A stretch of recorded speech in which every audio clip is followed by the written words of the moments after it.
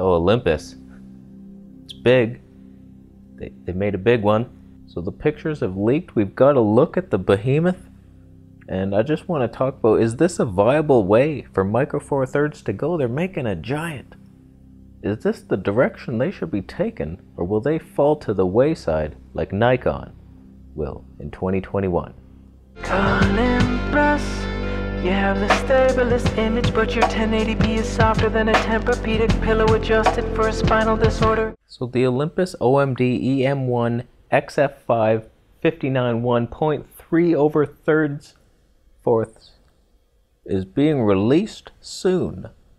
And we got to look at it. And as I'm gazing upon it, the first pictures I saw, I was like, holy shit.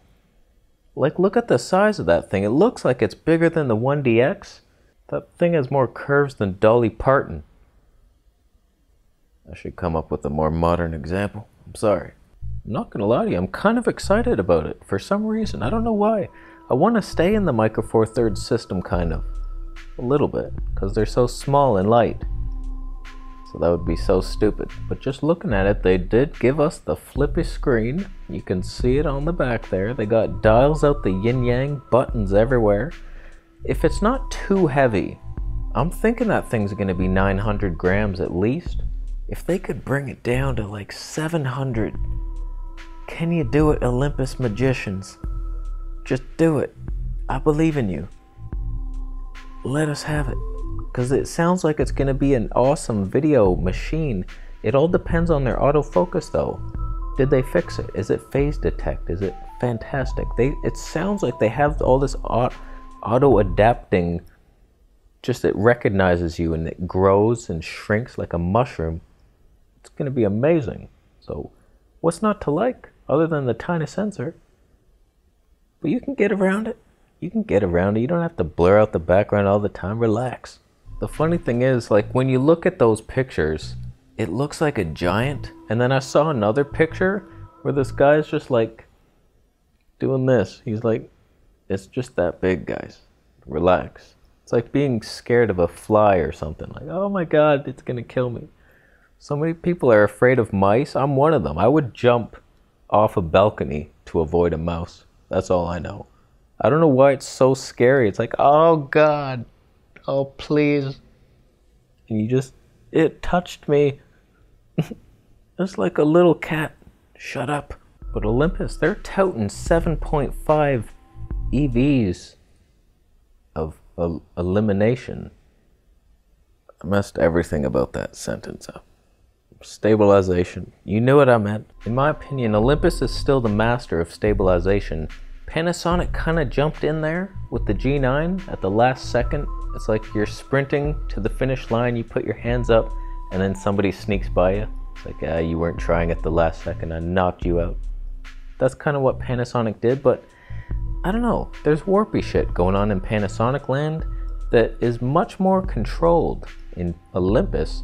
So this one, if they're taking it to the next level, I'm scared. I'm actually scared about how f- smooth the footage is going to be because it's going to feel like you're on a train, a magnet train to Happy Town. But in my opinion, I think Olympus is pulling a smart move here. It's weird because it's so big with the Micro Four Thirds, but think of it. What's good about Micro Four Thirds? It's cropped. You'd think that's a disadvantage, but there's always an advantage in life. Every time, no matter what it is, you think, oh, that's bad. I'm disadvantaged. Oh, I'm short. Oh no, I can't reach that top shelf. But you can sneak under bridges and find crumbs that people left, like peanuts.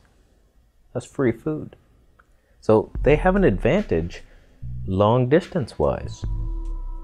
So this could be the wildlife killer where you're just shooting hippos, flamingos, desert eagle, rats, whatever you want. And obviously, sport shooting at a distance. It's like that's where Micro Four Thirds has the advantage. You can shoot faster and crop longer, and you're lighter. That's the good move. Whereas, like, it doesn't have much other advantages to full frame when you're short distance and slowly. I don't know what I'm doing. So I know I talked shit about it before. which I love to do. I love talking shit about cameras I've never tested myself. It's a hobby of mine, so just let me do it. But I think it's going to be a success. If they really throw everything they have at it, which sounds like they're doing that, why not? It's just how big is it going to be and how heavy is it going to be? Can they keep it down to 700 grams? Because shit gets heavy and that gets real fast. So, do you think it's a good idea for them to be making this giant Micro Four Thirds camera? Just completely opposite. Sometimes those are the best ideas, just completely opposite of common sense. So, I'm on board with the experiment and we'll see where it takes us. Let me know your thoughts down below. Did they make the right decision doing this? Or are they gonna die? Post it. And subscribe for more videos, and we'll see you in the next one. And if you're still watching, what did I film on today? It's different. Post it down below. Did you notice it? I'll leave.